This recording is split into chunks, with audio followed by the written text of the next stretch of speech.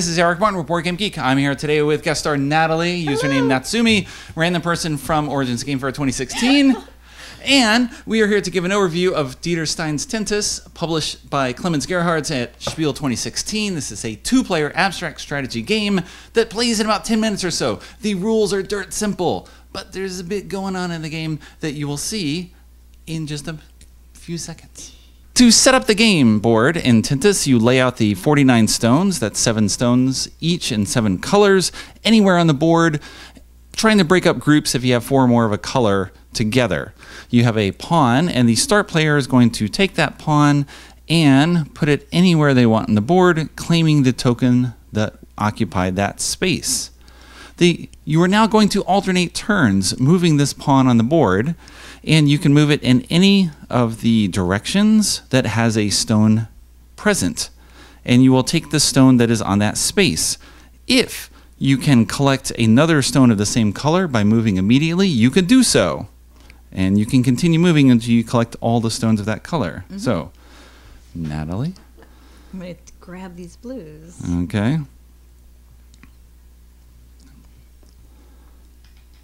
place them right here. And so now I can collect this white, and if I do, I can grab this white, I can collect these two red or those two green, and we will decide to go for the green.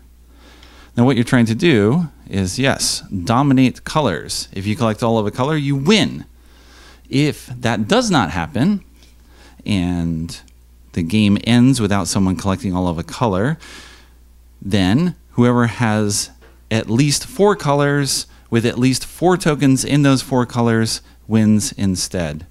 So, for example, I can get this green, which gives her those two red, which gives her a majority in red, and maybe I don't want to do that just yet. So, we'll go with white instead. And you see the colors that each person is collecting, trying to keep them from getting things. If you can collect one stone of each color, then you know that the opponent cannot win because you already have something. And then you're just shooting for majorities. And they are trying to stop you from winning immediately. Mm, sure.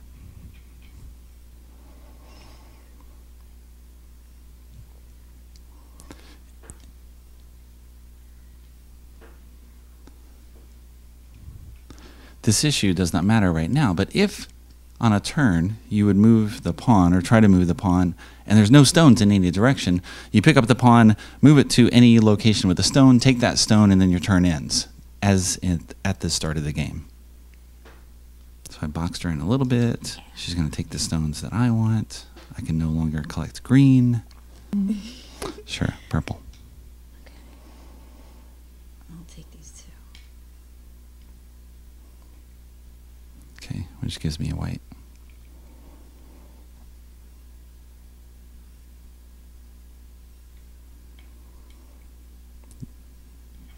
You're not gonna. Yeah, yeah. Give me that white.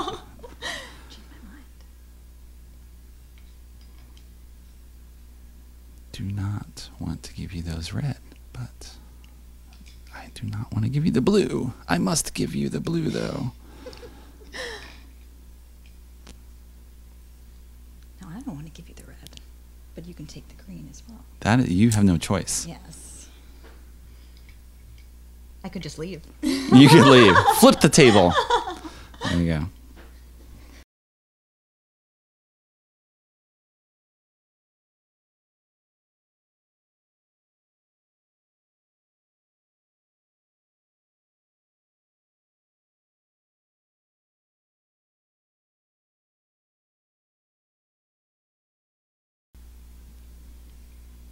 Just that.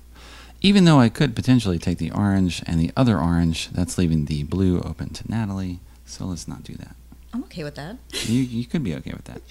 I've given you something else, though. I know my wonderful little red, but then you'll get a majority in orange. Mm. But it could be actually. Oh! If if you're okay, I will continue. I'll give you that blue. Huh? I t- was not thinking clearly. I can move if you want, or I can just leave it there. It's up to you. We're gonna cheat in this game here. Not cheat, not cheat. Maybe but I should- again, I should be more quiet. the the tree initially, if you're looking at the the branch tree of, of what you can do, initially it's just simple. I look around me in a circle and mm-hmm. I see what's there. But as you start taking things out, the tree gets a little narrower and you can see a little further down the path. And initially it's a little too hard to consider. But now, of course, I did this because if you take the blue, then I can take the white, Yes. which you let me do because it's a friendly game. Or maybe I could just get the green. Just or you just get the green. Hey, yeah. But the green doesn't matter because. I already have majority on green. Unless you want to do something No, else. that blue's. You're going for the blue. It's too tempting to Okay. take. And so now we set up a do or die situation Mhm. here. And I'll take. I can take the yellows, correct? Yes. Okay. I think I'm Which gives you majority. which gives you three majorities. And you're setting up for an anything but white situation at the end. We're gonna avoid this side of the board. That's right. Hmm. Yes, I will go here because you cannot take that red. Because then I can get white. You must take the green. I must take the green. Okay, green. which doesn't give you a majority anyway. Um, and now here's where things could potentially slow down. You start looking at this and puzzling out what I could force you to do Mhm. if I take certain moves. A couple of things are off limits, those two just stopping. So, but I can go through, go here, here. Going to here gives you red, which also sets you with two one away from winning. And the problem is, if I give you that red, actually, there's no other way to get these right now. They're off the, the Unless grid can pick it up. unless you can pick it up. So if we get stranded, Mhm. then these come into play, but that matters only if you already have that one. So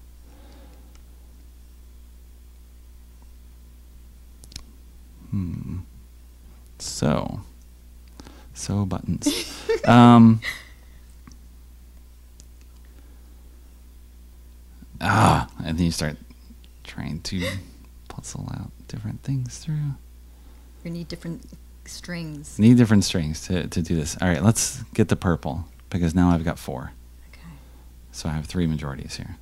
My inclination, I mean, what I don't like to do when I play a new game Mhm. is just try to like dive into it and just just just hold on a minute. I'm just just wait, just wait here and just like mm, and just figure stuff out because that's kind of boring for you. But I'm also figuring stuff out too, so it's not like I'm doing True. anything. But I've, I, I mean, I find I don't know if this is true or not. This is the way I think about it: is that I learn best by doing. I do the it's same thing. it's better play quickly five times and make mistakes and learn what not to do and sort of internalize that than just like ponder and just be like, oh man, I, I think I can think this out if I really like through all the, the branches. But it only takes about a minute to really figure it out. It's not too long. It seems like a lot longer in your head. Not really, because there's only two or three options you can really do. well, two or three options, but then They off branch of that, out. That's true. what's possible. So, and so I went for majority, not letting you in any immediate. Hiding my blue. Yes, hiding that blue. Okay.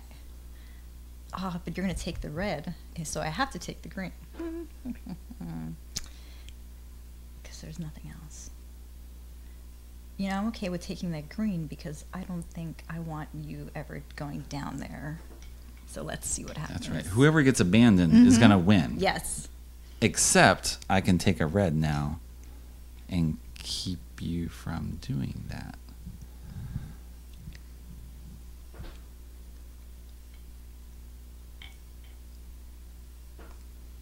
And that no, that No? gives me the win because I go over here.